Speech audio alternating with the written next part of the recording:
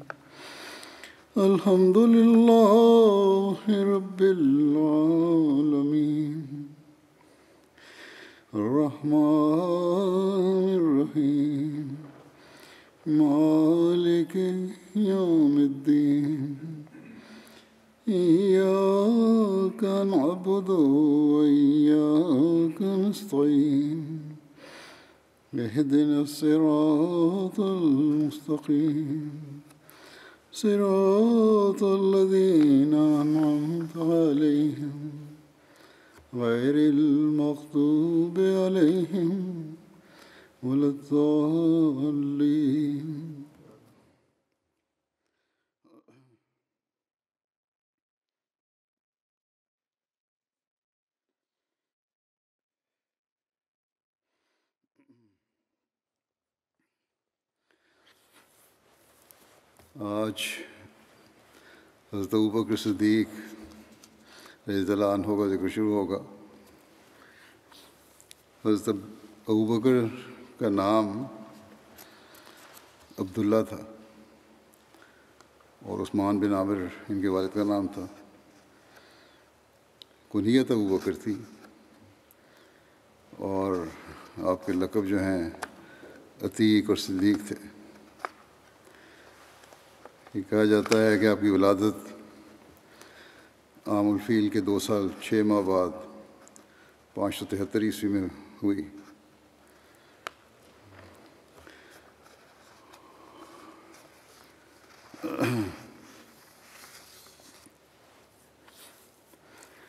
उमर का नाम, जैसा कि मैंने कहा, अब्दुल्ला था। आपका ताल्लुक़ कुरैश के कबीला बनू तैम बिन मुर्रा से था। जाहिलियत में आपका नाम अब्दुल काबा था, जिसे रसूलुल्लाह सल्लल्लाहु अलैहि वसल्लम ने तब्दील करके अब्दुल्ला रख दिया।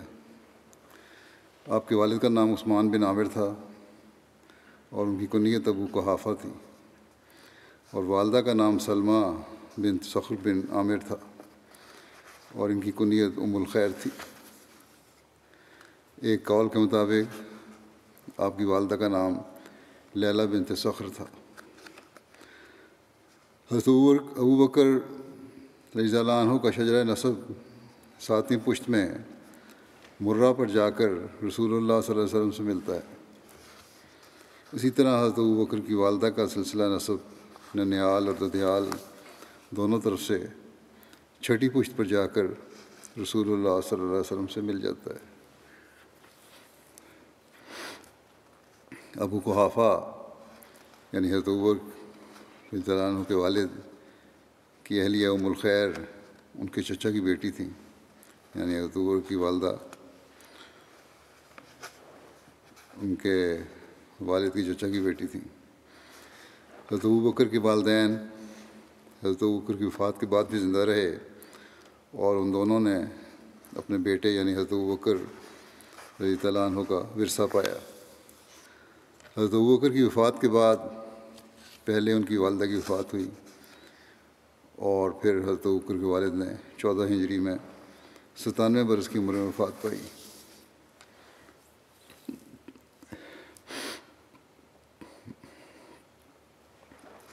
हज़रत बकर के वालिद और वालदा दोनों को इस्लाम कबूल करने की तोफ़ी मिली। आपके वालिद के ईमान लाने, आपके वालिद के ईमान लाने का वाक़ यूँ है कि आप के वालिद फ़तह मक्का तक ईमान नहीं लाए थे। उस वक्त उनकी बिनाई जा चुकी थी। फ़तह मक्का के वक्त जब रसूल करीम वसल्लम मस्जिद हराम में दाखिल हुए तो हज़रत बकर अपने वालिद को लेकर रसूल करीम सल्लल्लाहु अलैहि वसल्लम की खिदमत में हाज़िर हुए। जब नबी करीम सल्लल्लाहु अलैहि वसल्लम को देखा तो आप सल्लल्लाहु अलैहि वसल्लम फरमाया, ए बकर तुम इस बूढ़े उम्र रसीदा शख्स को घर ही रहने देते। मैं ख़ुद उनके पास आ जाता।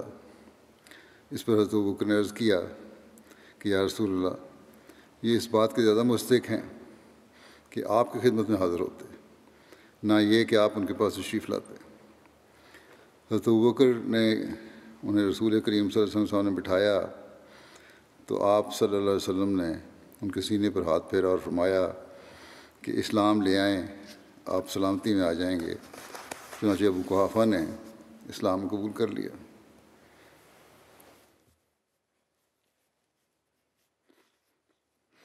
जाबर बिन अब्दुल्ला से रवायत है कि अबू गुहाफ़ा को फ़तह मक्का के दिन लाया गया तो उनका सर और दाढ़ी सगामा की तरह सफ़ेद हो चुके थे। सगामा के बारे में कहा जाता है कि ये एक फूल था, होता था सफ़ेद रंग का, जो पहाड़ों पर उगता था। बहरहाल, बिल्कुल सफ़ेद बाल थे, दाढ़ी बस सफ़ेद थी। इस पर रसूलुल्लाह सल्लल्लाहु अलैहि वसल्लम ने फरमाया, इसे किसी और रंग, फरमाया कि इसी किसी और रंग से तब्दील कर दो।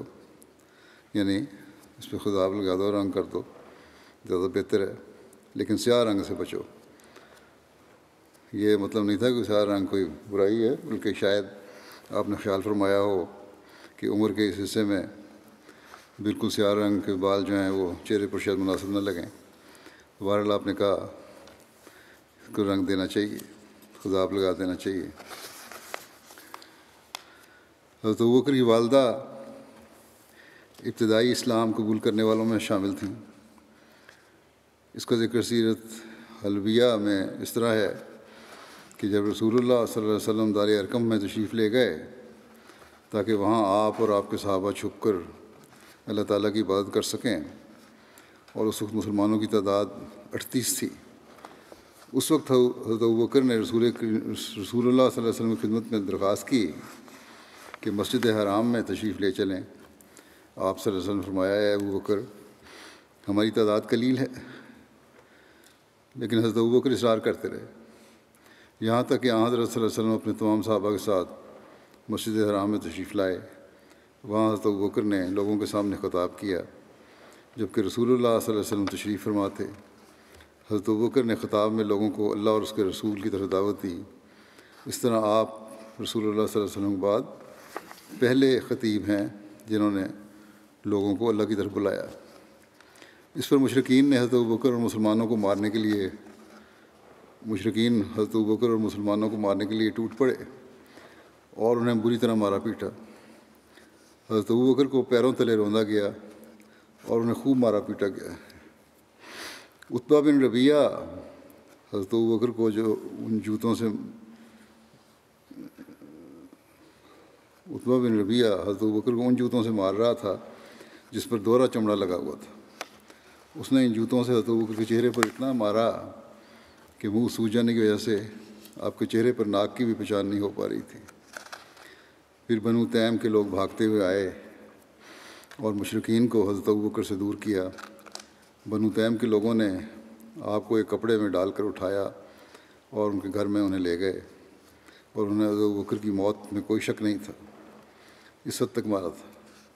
इसके बाद बनु तैम के लोग वापस आए और मस्जिद में दाखिल हुए, खाना काबा में। और उन्होंने कहा, खुदा की कसम, अगर अबू बकर फौत हो गए तो हम ज़रूर उतबा को कत्ल कर देंगे, जिसने मारा था ज़्यादा। फिर वो लोग हज़रत बकर के पास वापस आए, और आपके वालिद अबू कुहाफ़ा और बनु तैम के लोग आपसे बात करने की कोशिश करने लगे। मगर आप बेहोशी की वजह से कोई जवाब न देते थे। यहाँ तक कि दिन के आखिरी हिस्से में आप बोले, और सबसे पहले ये पूछा कि रसूलुल्लाह सल्लल्लाहु अलैहि वसल्लम का क्या हाल है? मगर लोगों ने उनकी बात का जवाब नहीं दिया। मगर आप बार बार यही सवाल दोहराते रहे। इस पर आपकी वालदा ने कहा, खुदा की कसम, मुझे तुम्हारे साथी के मतलब कुछ मालूम नहीं।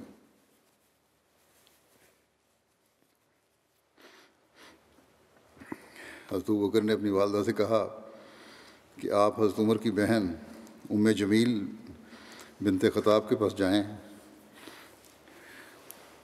उम जमील पहले मुसलमान हो चुकी थी, लेकिन अपने इस्लाम को छुपाया करती थी। आप उनसे यहाँ हज़रत का हाल दरियाफ्त करें। चुनाचे वो उनकी वालदा तौर की उम जमील के पास गईं और उनसे कहा कि वो बकर मोहम्मद मोहम्मद बिन अब्दुल्ला वसल्लम के बारे में पूछते हैं। तो उन्होंने जवाब दिया, मैं मोहम्मद को नहीं जानती और ना ही अबू बकर को। फिर उम जमील ने हज़रत अबू बकर की वालदा से कहा कि क्या आप चाहती हैं कि मैं आपके साथ चलूँ? उन्होंने कहा हाँ। फिर वो उनके साथ बकर के पास आई। तो उम जमील ने आपको ज़ख्मों से चूर ज़मीन पर पड़ा देखा।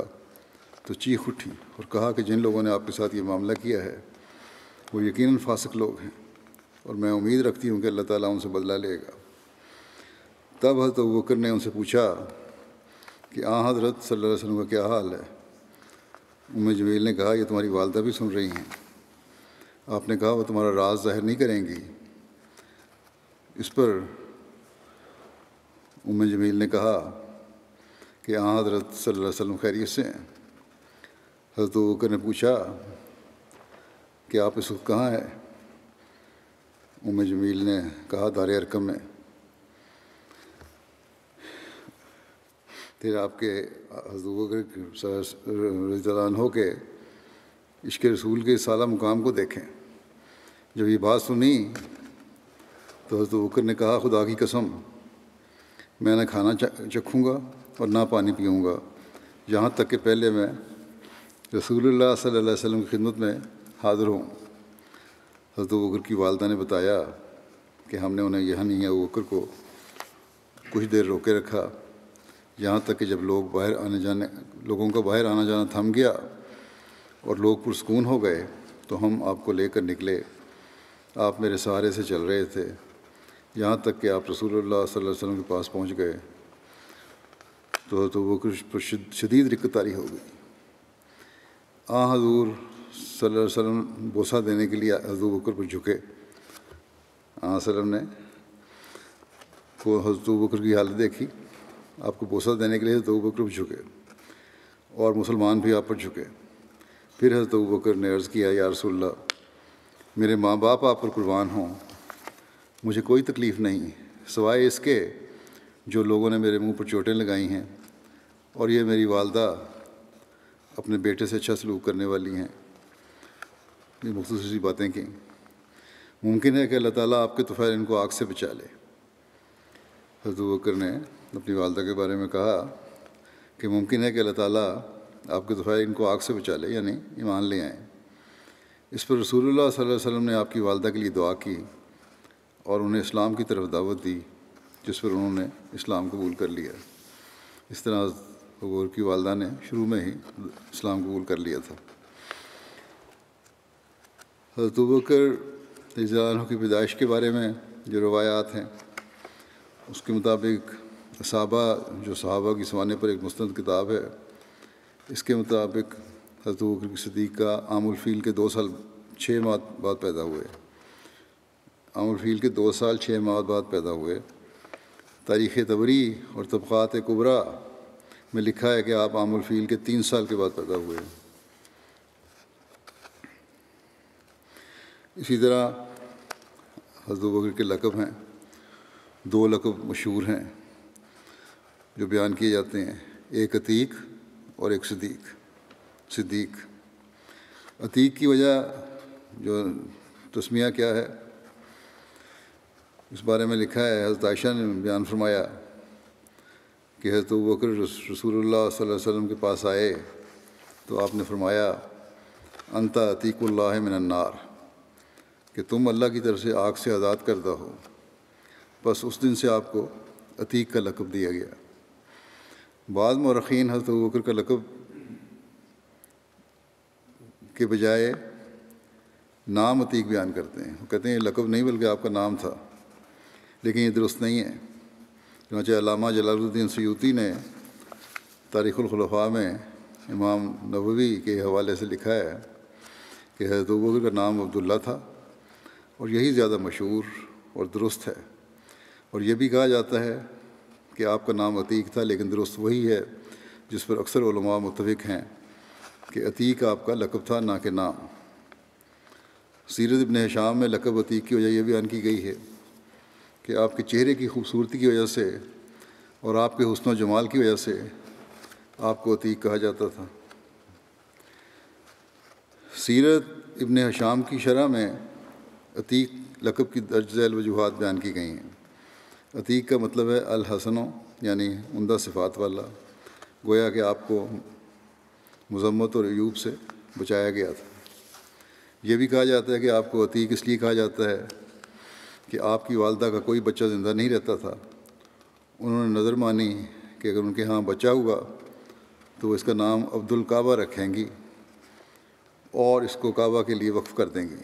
जब आप ज़िंदा रहे और जवान हो गए तो आपका नाम अतीक पड़ गया। गोया कि आप मौत से निजात दिए गए। इनके अलावा भी लकब अतीक के मुख्तलिफ़ वजूहत मिलती हैं। बाद लोगों के मुताबिक आपको अतीक इसलिए कहा जाता था कि आपके नसब में कोई ऐसी चीज़ नहीं थी जिसकी वजह से उस पर ऐप लगाया जाता। अतीक का एक मानी कदीम या पुराने के भी हैं, इसलिए हज़रत बकर को अतीक इस वजह से भी कहा जाता था कि आप कदीम से नेकी और भलाई करने वाले थे। इसी तरह इस्लाम कबूल करने में और भलाई में पहल करने की वजह से आपका लकब अतीक रखा गया था।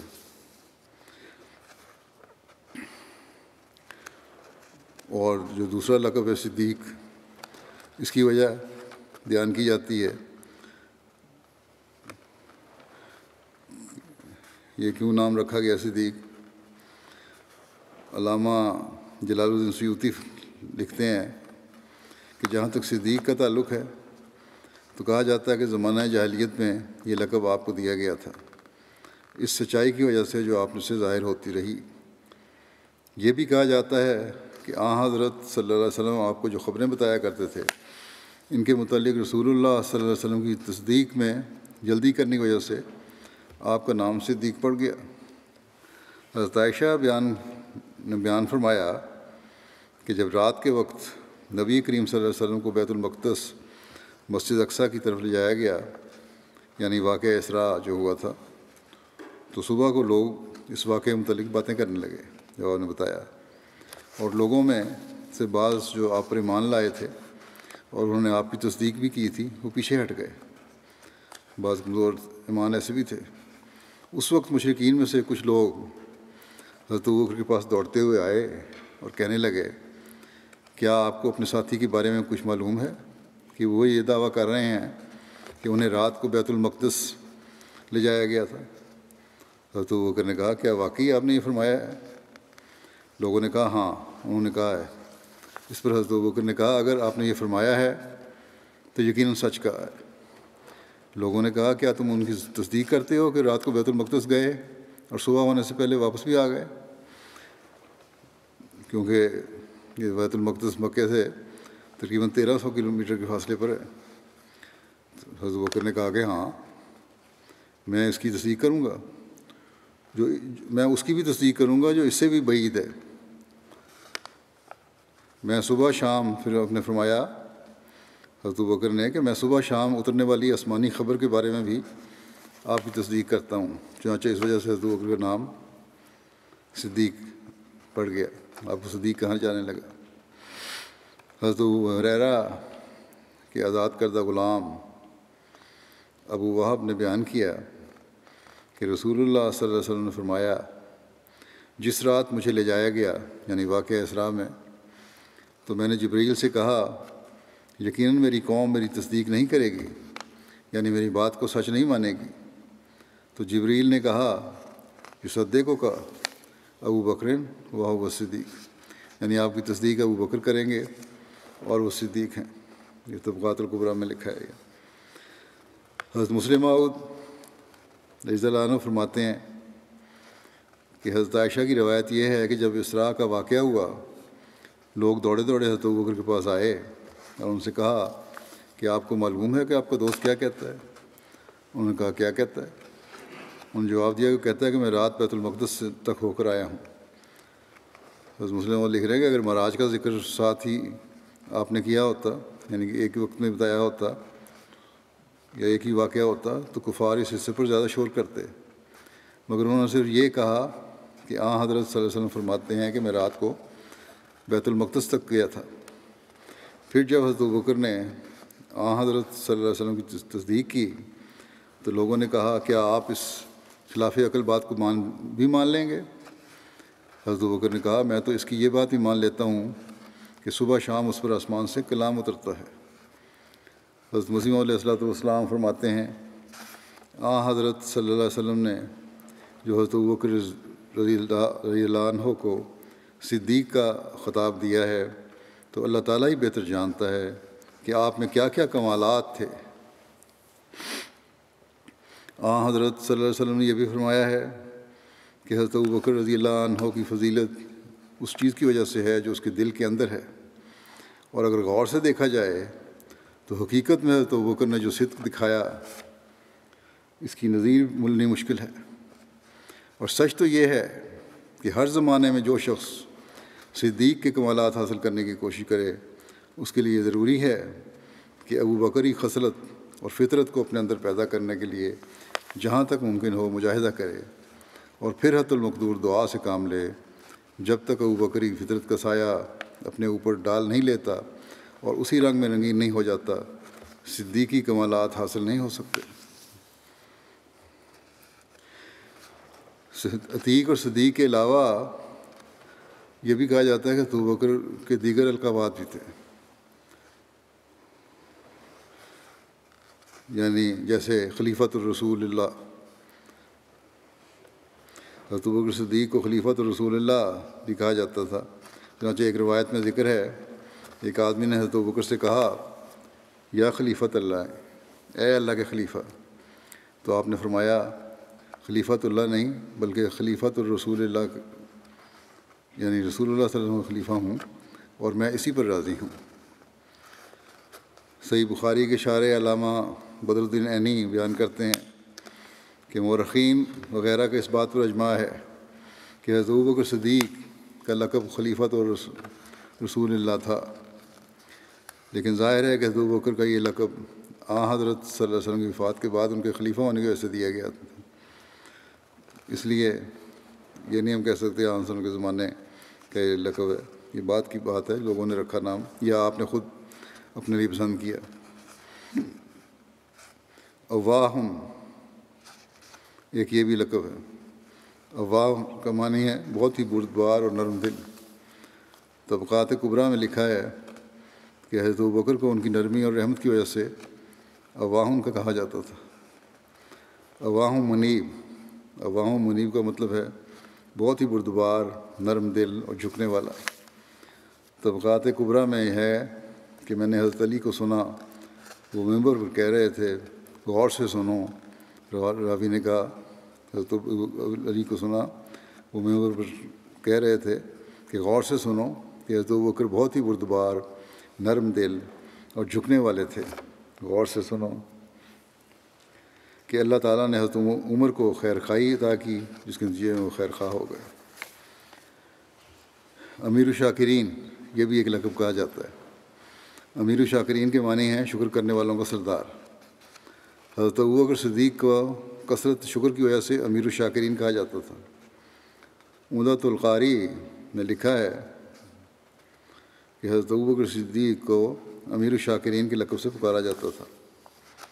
सानी असनैन ये भी एक लकब कहा जाता है। हज़रत बकर सिद्दीक को अल्लाह ताला ने सानी असनैन के लकब से पुकारा है।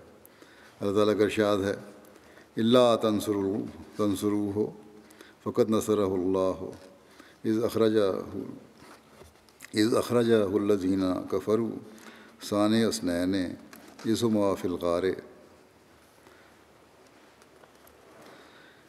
इज़ यकूलो साहिब ही ला तहज़न इन अल्लाह माना फ़ानज़ल अल्लाह सकीनत अलह कि अगर तुम इस रसूल की मदद ना भी करो तो अल्लाह ताला पहले भी इसकी मदद कर चुका है जब उसे, उन लोगों ने जिन्होंने कुफर किया, वतन से निकाल दिया था। इस साल में कि वो दो में से एक था। जब वो दोनों गार में थे और वो अपने साथी से कह रहा था कि, गम न कर, यकीन अल्लाह हमारे साथ है। बस अल्लाह ने उस पर अपनी सकीनत नादिल की। हज़रत मसीम सलाम फरमाते हैं, अल्लाह ने तकलीफ़ दे वक्त और मुश्किल हालत में अपने नबी सल्लल्लाहु अलैहि वसल्लम की आपके ज़रिए तसल्ली फरमाई। और और सिद्दीक़ के नाम और नबी सकलैन के कुर्ब से मखसूस फरमाया और अल्लाह ताला ने आपको सानी असनैन की खिलत के फ़ाखरा से फैज़याब फरमाया और अपने ख़ास ख़ास बंदों में से बनाया। क्या तुम्हें किसी ऐसे शख्स का इल्म है जिसे सानी उसनैन के नाम से मौसूम किया गया और नबी दो जहान के रफ़ीक का नाम दिया गया हो? और इस फजीलत में शरीक किया गया हो कि इन अल्लाह माना। और उसे दो तायद याफ्ता में से एक करार दिया गया। करार दिया गया हो। क्या तुम किसी ऐसे शख्स को जानते हो जिसकी कुरान में इस तारीफ़ जैसी तारीफ़ की गई हो और जिसके मख्फी हालात से शुबहात के हजूम को दूर कर दिया गया और जिसके बारे में नसूस सरिया से ना कि जन्नी शकी बातों से ये साबित हो कि वो मकबूलिन बारगाह इलाही में से हैं। बखुदा इस किस्म का सरी ज़िक्र जो तहकीक से साबित शुदा हो, हज़रत बकर सिद्दीक से मखसूस है। मैंने रब बैत अतीक के सहीफ़ों में से किसी और शख्स के लिए नहीं देखा। बस अगर तुझे मेरी इस बात के मतलब शक हो, या तुम्हारा ये गुमान हो कि मैंने हक से गुरेज़ किया है तो कुरान से कोई नज़ीर पेश करो और हमें दिखाओ कि फ़ुरक़ान हमीद ने किसी और शख्स के लिए ऐसा ही सराहत की हो, अगर तुम सच्चों में से हो। सिरखलाफा में आपने फरमाया। फिर एक लकब साहिब रसूल भी है। इसका मतलब है रसूल का साथी। हज़रत बकर बयान करते हैं कि उन्होंने एक जमात से कहा, तुम में से कौन सूरह तौबा पढ़ेगा? एक शख्स ने कहा, मैं पढ़ता हूँ। फिर जब वो आयत इस यकूल हो, ये साहिब ही, ला तहज़न। कि जब वो अपने साथी से कह रहा था कि हम ना कर, यहाँ तक पहुँचा तो हज़रत बकर रो पड़े और फरमाया, अल्लाह की कसम, मैं ही आप सल्लल्लाहु अलैहि वसल्लम का साथी था। फिर आदम सानी एक लकब है। हज़रत बकर का ये वो लकब है जो हज़रत अकदस मसीम ने आपको अता फरमाया है। आपने हज़रत बकर को आदम सानी करार दिया चनाचे हज़रत मसीम अपने एक मकतूब में बयान फरमाते हैं अबू बकर रज़ी अल्लाह हो जो इस्लाम के आदम सानी हैं। और ऐसा ही हज़रत उमर फ़ारूक और हज़रत उस्मान रज़ी हुमा अगर दीन में सच्चे अमीन ना होते तो आज हमारे लिए मुश्किल था, जो कुरान शरीफ किसी एक आयत को भी मिन जानवल्ला बता सकते। सिरखलाफा में हज़रत मसीम बयान फरमाते हैं, तर्जमा उसका ये है कि और बखुदा आप इस्लाम के लिए आदम सानी और खैरनाम मोहम्मद वसल्लम के अनवार के मज़र अव्वल थे। फिर खलील रसूल एक लकब है सीरत की किताबों में खलील रसूल भी हज़रत बकर का लकब बयान किया गया है। और इसकी बुनियाद कुतुब हदीस में मौजूद एक रवायत है कि आ हजूर सल्लल्लाहु अलैहि ने फरमाया, अगर मैं किसी को खलील बनाता तो बकर को बनाता। चुनाचे सही बुखारी में है, हज़रत अब्बास से रवायत है कि मर्जुलमौत के दौरान हजूर वसल्लम ने फरमाया, अगर मैंने लोगों में से किसी को खलील बनाना होता तो ज़रूर अबू बकर को ही खलील बनाता। लेकिन इस्लाम की दोस्ती सबसे अफजल है। इस मस्जिद में तमाम खिड़कियों को मेरी तरफ़ से बंद कर दो सवाए अबू बकर की खिड़की के।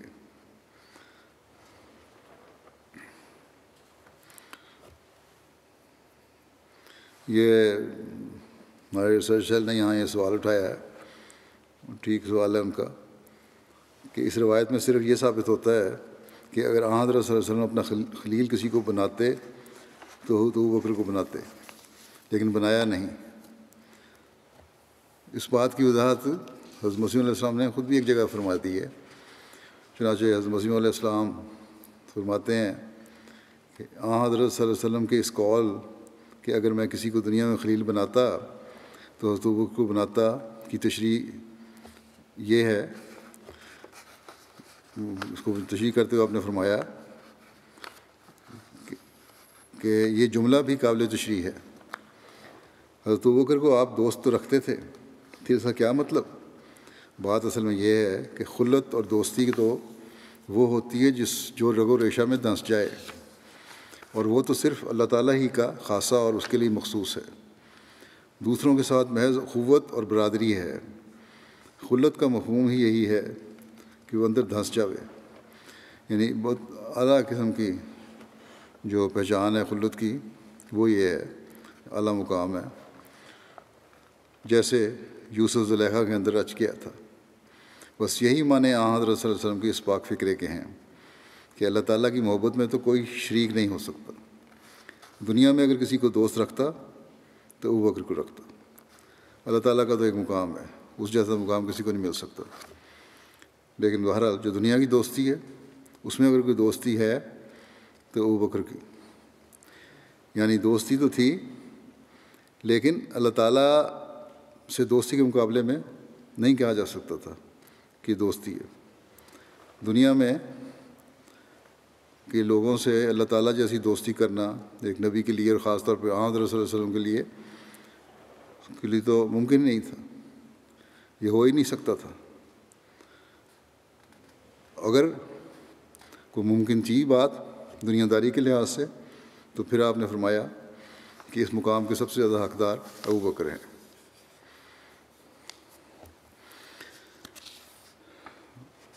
कुनीत क्या थी आपकी? हज़रत की कुनीत अबू बकर थी और इनके एक से ज़ायद वजूह बयान की जाती हैं। बाज़ के नज़दीक बकर जवान ऊँट को कहते हैं, चूँकि आपको ऊँटों की परवरिश और गौर बर्दाश्त में बहुत दिलचस्पी और महारत थी। इसलिए लोगों ने आपको अबू बकर कहना शुरू कर दिया।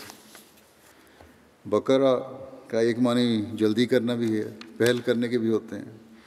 बाज़ के कौल ये कुनीत इसलिए पड़ी कि आप सबसे पहले इस्लाम लाए। इन्ना वो बकरा इस्लाम है, कबला गैर ही। उन्होंने दूसरों से पहले इस्लाम की तरफ़ पेशकदमी की। अलामद मखशरी ने लिखा है कि उनको पाकिज़ा खसलतों में इफ्तार यानी पेश पेश होने की वजह से अबू बकर कहा जाता था। हुलिया आयशा इतलान हो, आपके हुलिया के बारे में, अनहा आपके हुलिया के बारे में रवायत करती हैं कि उन्होंने एक अरबी शख्स को देखा जो पैदल चल रहा था और आप उस वक्त अपने हौदज में थीं। आपने फरमाया मैंने इस शख्स से ज़्यादा हज़रत बकर के से कोई शख्स नहीं देखा। रावी कहते हैं कि हमने कहा कि आप हमारे लिए हज़रत बकर का हुलिया बयान करें। तो हज़रत आयशा ने फरमाया कि हज़रत बकर गोरे रंग के शख्स थे दुबले पतले थे रुखसारों पर गोश्त कम था कमर ज़रा खबीदा थी ज़रा झुकी हुई थी कि आपका तयबंद भी कमर पर नहीं रुकता था और बच्चे और, और नीचे सिरक जाता था। चेहरा कम गोश्त वाला था आँखें अंदर की तरफ़ थीं और पेशानी बुलंद थी। सही बुखारी में हज़रत अब्दुल्ला बिन उमर से रवायत है कि आपने कहा कि रसूलुल्लाह वसल्लम ने फरमाया, जो गरूर से अपना कपड़ा घसीट कर चला तो अल्लाह रोज़ क़्यामत उसकी तरफ़ नज़र उठाकर नहीं देखेगा। हज़रत बकर ने कहा कि मेरे कपड़े की एक तरफ़, मेरे कपड़े की एक तरफ़ ढीली रहती है, यानी एक साइड जो है वो ढीली रहती है। और की वजह से नीचे आ जाती है। सवाए इसके कि मैं उसका ख़ास ख्याल रखूँ। अलैहि वसल्लम ने फरमाया, आप तो गुरगुर से ऐसा नहीं करते। ये जायज़ है, कोई बात नहीं। हज़रत बकर मेहंदी और कतम से ख़ताब लगाया करते थे। कतम ये बूटी बुलंद पहाड़ों पर उगती है और वसमा के साथ मिलाकर लगाई जाती है और इसके ज़रिए बालों को स्याह रंगत दी जाती थी।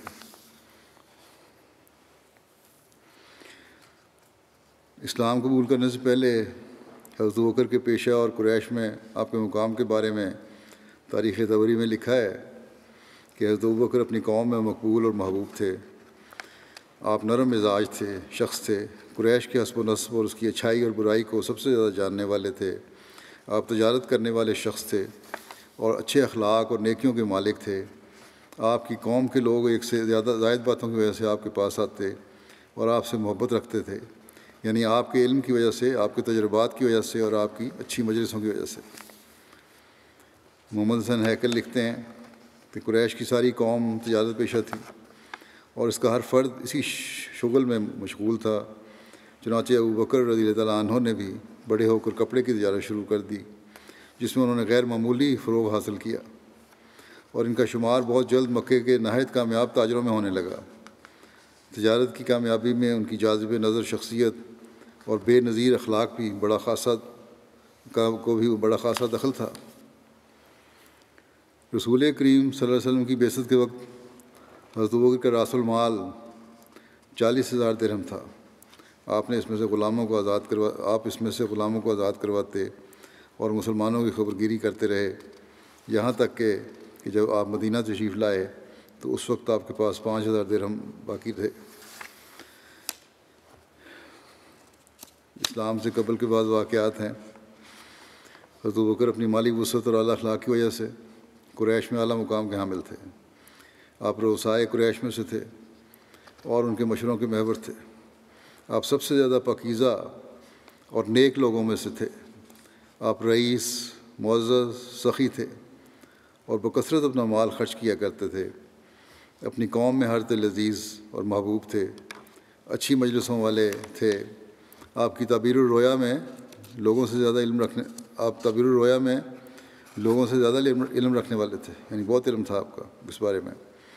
इल्म तबीर रोया के बड़े बड़े, बहुत बड़े आलम इबन सीन कहते हैं कि नबी करीम वसल्लम के बाद हज़रत बकर इस उम्मत के सबसे बड़े तबीर रोया के आलम थे।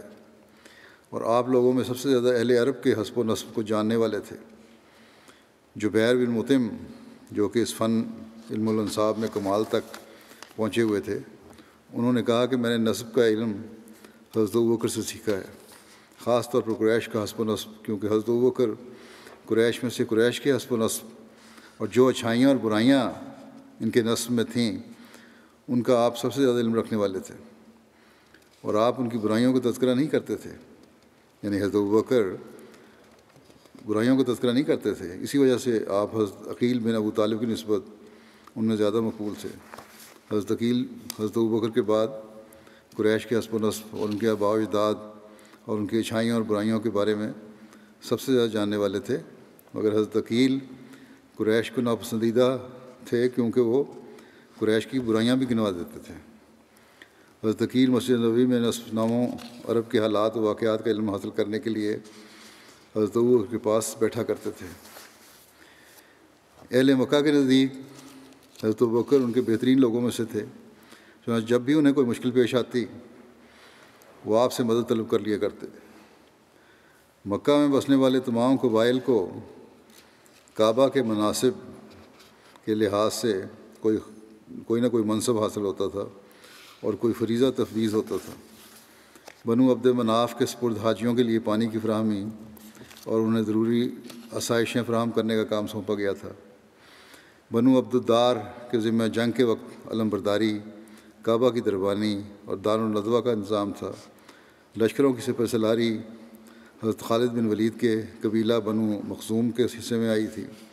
खून बहा और दियतें इकट्ठा करने, करना हज़रत अबू बकर के कबीला बनु तैम बिन मुर्रा का काम था। जब हज़रत अबू बकर सिद्दीक जवान हुए तो ये खिदमत उनके सपुर्द कर दी गई। जब हज़रत अबू बकर किसी चीज़ की दियत का फ़ैसला करते तो कुरैश आपकी तस्दीक करते और आपकी दियत का लिहाज करते। अगर आपके अलावा कोई और दियत का फ़ैसला करता तो कुरैश उसको छोड़ देते और उसकी तस्दीक ना करते थे। हिल्फुल फजूल में हज़रत बकर की भी शमूलियत थी। जो एक ख़ास माहा था गरीबों की मदद का, मजलूमों की मदद का। कदीम ज़माने में अरब के बाद शरीफ दिल अशखास को यह ख्याल पैदा हुआ था कि वहाँ मिल कर अहद किया जाए कि हम हमेशा हकदार को उसका हक हासिल करने में मदद देंगे और ालिम को जुल्म से रोकेंगे। और अरबी में चूँकि हक़ को फ़जल भी कहते हैं, इसकी जमा फजूल है, इसलिए इस माहा का नाम हिल्फुल फजूल रखा गया। बाद रवायतों की रूह से चूँकि इस तजवीज़ के महर्क आप ऐसे शख्स थे जिनके नामों में फ़जल का लफ्ज़ आता था, इसलिए यह हिल्फुल फजूल के नाम से मशहूर हो गया। बहरहाल, जंग फुजार के बाद और गालबौसी जंग से मुतासर होकर, आ हज़रत सल्लल्लाहु की चचा ज़ुबैर बिन अब्दुलमुतलब के दिल में ये तहरीक पैदा हुई कि इस हल्फ को फिर ताज़ा किया जाए। चुनाचे इसकी तहरीक पर बाज़ कबाइल कुरैश के नुमाइंदगान अब्दुल्ला बिन जुदान के मकान पर जमा हुए। जहाँ जहाँ अब्दुल्ला बिन जुदान की तरफ़ से एक दावत का इंतज़ाम था। फिर सबने इतफ़ाक़ करके वहाँ कसम खाई। कि हम हमेशा जुल्म को रोकेंगे और मज़लूम की मदद करेंगे। इस ऐद में हिस्सा लेने वालों में बनु हाशिम, बनु मुतलब, बनु असद, बनु जहरा और बनु तैम शामिल थे। आ हज़रत वसल्लम भी इस मौके पर मौजूद थे और शरीक माहा थे। चनाचे आप एक दफ़ा नबूत के ज़माने में फरमाते थे कि मैं अब्दुल्ला बिन जुदान के मकान पर एक ऐसी कसम में शरीक हुआ था कि अगर आज इस्लाम के ज़माने में भी मुझे कोई इसकी तरफ़ बुलाए तो मैं इस पर लबैक कहूँगा। एक मुसनफ़ हज़रत बकर की हिल्फ हजूर में शमूलियत का भी ज़िक्र करते हुए लिखते हैं कि इस अंजमन में आ हजूर सल्लल्लाहु अलैहि वसल्लम भी शामिल हुए थे और आपके साथ हज़रत बकर सदीक भी शामिल हुए थे। बेसत से कबल रसूल करीम वसल्लम से आपका ताल्लुक़ और दोस्ती का हाल यूँ बयान हुआ है। इब्न इसहाक और इनके अलावा बाद और लोगों ने बयान किया है। हज़रत बकर बेसत से कबल रसूलुल्लाह वसल्लम के साथी थे। वो आप वसल्लम के साथ, आप वसल्लम के सिद्क और इमानत और आपकी पाक फितरत और उमदा अखलाक से अच्छी तरह वाकिफ़ थे। एक और रवायत में ज़िक्र है कि ज़माना जाहलीत में भी हज़रत बकर रसूल करीम वसल्लम के दोस्त थे। सियर सहाबा में लिखा है कि आ हज़रत वसल्लम के साथ बचपन ही से उनको, यानी हज़रत बकर को ख़ास उनस और खलूस था। और आप वसल्लम के हल्का अहबाब में दाखिल थे। अक्सर तजारत के सफ़रों में भी हमराही का शर्फ हासिल होता था। हज़रत मिर्ज़ा बशीर अहमद साहब ने बेसों से कबर रसूल करीम वसल्लम के हल्का अहबाब का ज़िक्र करते हुए लिखा है कि बेसों से पहले आ हज़रत वसल्लम के दोस्ताना ताल्लुकात का दायरा बहुत ही महदूद नज़र आता है। दरअसल शुरू से ही आपकी तबीयत लहद की पसंद थी। और आपने अपनी उम्र के किसी हिस्से में भी मक्के के आम मक्के की आम सोसाइटी में ज़्यादा खला मिला नहीं किया। तहम बाज़ लोगों ने भी, जिनके साथ आपके दोस्ताना ताल्लुकात थे, इन सब में मुमताज़ बकर यानी अब्दुल्ला बिन नबी कहाफ़ा थे, जो क्रैश के एक अला ख़ानदान से ताल्लुक़ रखते थे और अपनी शराफत और काबिलियत की वजह से कौम में बड़ी इज़्ज़त की नज़र से देखे जाते थे। दूसरे दर्जे पर हकीम बिन हिज़ाम थे हज़ खतीजा के भतीजे थे ये नहायत शरीफ तबा आदमी थे। शुरू शुरू में ये इस्लाम नहीं लाए, लेकिन उस हालत में भी आ हज़रत वसल्लम से बहुत मोहब्बत और अखलास रखते थे। आखिर सादत तभी इस्लाम की तरफ़ खींच लाई। फिर जैद बिन अमर से भी आ हज़रत के ताल्लुक थे। ये साहब हज़रत उमर के करीबी रिश्तेदार थे और उन लोगों में से थे जिन्होंने ज़माना जाहलीत में ही शिरक तर्क करके कर तर्क कर रखा था और अपने आप को दीन इब्राहिमी की तरफ़ मंसूब करते थे, मगर ये इस्लाम के ज़माने से पहले ही फौत हो गए। बहरहाल, हज़रत बकर नंबर एक पे थे, जो ताल्लुकात में थे हज़रत वसल्लम के साथ। ज़माना जाहलीत से ही हज़रत को शिरक से नफ़रत थी और इजतनाब करते थे। हज़रत बकर ने ज़माना जाहलीत में भी कभी शिरक नहीं किया और ना कभी किसी बुत को सजदा किया। चुनाच सीरत हलबिया है, में लिखा है कि बयान किया जाता है कि यकीनन हज़रत बकर ने कभी किसी बुत को सजदा नहीं किया था। अलामा इबन जौज़ी ने हज़रत बकर को उन लोगों में शुमार किया है जिन्होंने जाहलीत में ही बुतों की इबादत से इनकार कर दिया था, यानी वो कभी बुतों के पास नहीं गए। ज़माना जाहलीत में शराब से नफ़रत थी आपको, हज़रत बयान फरमाती हैं कि हज़रत बकर ने ज़माना जाहलीत में शराब को अपने ऊपर हराम किया हुआ था। आपने ना जाहलीत में और ना ही इस्लाम में कभी शराब पी। एक रिवायत में आता है कि रसूलुल्लाह सल्लल्लाहु अलैहि वसल्लम के सहाबा के मजमे में हज़रत बकर से पूछा गया कि क्या आपने ज़माना जाहलीत में कभी शराब पी? इस पर हज़रत बकर ने फरमाया आउज़बिल्ला मैं अल्लाह की पनाह में आता हूँ। पूछा गया, इसकी क्या वजह है?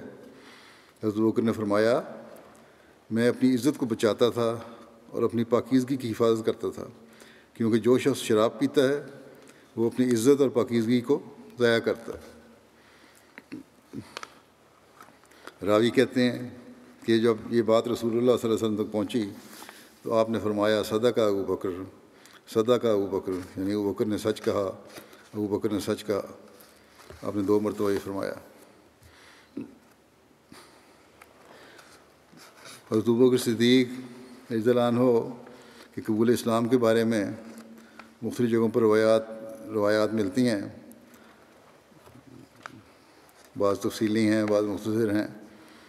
बहरहाल ये कुछ बयान कर देता हूँ। हज़रत आयशा रज़ीतहा बयान करती हैं कि जब से मैंने होश संभाला है, मेरे माँ बाप इसी दिन, यानी इस्लाम पर थे और हम पर कोई ऐसा दिन नहीं गुजरा कि जिसमें अलैहि वसल्लम हमारे पास सुबह शाम दोनों वक्त ना आए हों। हज़रत बकर कबूल इस्लाम के बारे में मुख्तलि रवायात की की जाती हैं। शरह जरकानी में हज़रत बकर के कबूल इस्लाम का वाक़ यूँ बयान किया जाता है कि एक दिन हज़रत बकर हकीम बिन हिज़ाम के घर में में घर में थे। उस वक्त उनकी लौंडी आई और कहने लगी कि तेरी फूफी खतीजा ये बयान करती है कि उसका खामद मूसा की मानद बतौर नबी भेजा गया है। इस पर हज़रत बकर ने वहाँ से चुपके से निकले, यहाँ तक कि आप नबी करीम वसल्लम के पास आए और इस्लाम कबूल कर लिया। सीरत इबन हिशाम की शरह अरूज़ुलनफ़ में हज़रत बकर की एक रोया और इस्लाम लाने का वाक़ यूँ बयान हुआ है कि नबी करीम वसल्लम की बेसत से कबल हज़रत बकर ने एक ख्वाब देखा। उन्होंने देखा कि चाँद मक्के में उतर आया था। फिर उन्होंने उसे देखा कि वो टुकड़े टुकड़े होकर मक्के की तमाम जगहों और घरों में फैल गया। उसका एक एक टुकड़ा हर घर में दाखिल हो गया है और हर, और फिर गोया वो चाँद आपकी गोद में इकट्ठा कर दिया गया है। हज़रत बकर ने बाज़ अहल किताब से इस ख्वाब का ज़िक्र किया। तो उन्होंने ये तबीर बताई कि वो नबी जिसका इंतज़ार किया जा रहा है, उसका ज़माना आ गया है और आप इस नबी की पैरवी करेंगे और इस वजह से लोगों में सबसे ज़्यादा आप सादतमंद होंगे।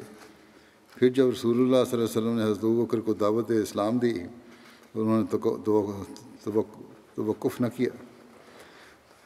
सबीलहुदा में हज़रत बकर के कबूल इस्लाम के बारे में एक रवायत यूँ बयान हुई है कि काब बयान करते हैं कि हज़रत बकर सदीक हो के इस्लाम लाने के सबब आसमान से नाजल होने वाली एक वही थी।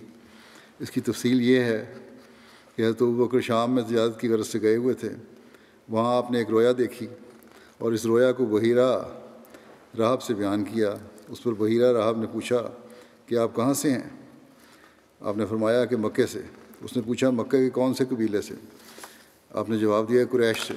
उसने पूछा, आप क्या करते हैं? आपने फरमाया कि ताजर हूँ। इस पर बहीरा राहब ने कहा कि अल्लाह ताला ने आपकी रोया को सच कर दिखाया तो तुम्हारी कौम में से एक नबी मबूस किया जाएगा। तुम इस नबी की ज़िंदगी में उसके वज़ीर हो गए। और उसकी वफ़ात के बाद उसके खलीफा हो गए। फिर हज़रत बकर ने उससे मख्फी रखा। यहाँ तक कि नबी करीम वसल्लम मबूस हो गए। तो हज़रत बकर ने कहा, ए मोहम्मद सल्लल्लाहु अलैहि वसल्लम, आप जो दावा करते हैं, इसकी दलील क्या है? क्योंकि बाकी जगह तो कोई दलील बनी कभी मांगी। लेकिन बहरहाल इस रवायत में ये है। नबी करीम वसल्लम ने फरमाया, वो ख्वाब जो तुमने शाम में देखी थी वही दलील है। इस पर हज़रत बकर ने आप वसल्लम से मुआनका किया और आपकी आँखों के दरमियान बोसा लिया और कहा कि मैं गवाही देता हूँ कि आप अल्लाह के रसूल हैं।